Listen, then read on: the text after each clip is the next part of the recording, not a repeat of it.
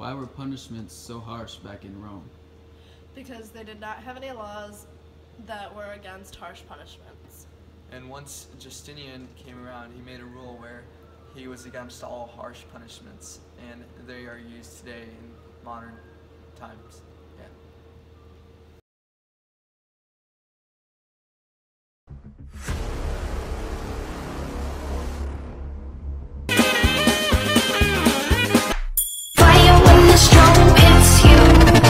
You. That's it, Brian? Yes. Bet you're looking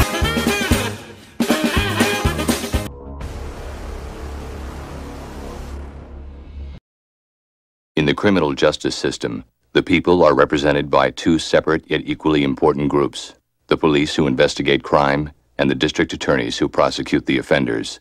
These are their stories.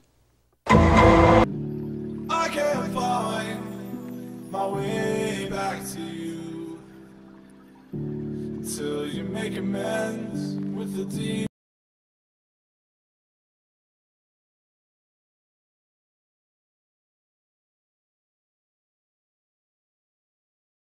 You've been through, and I can't regret leaving you alone until you find your way back home.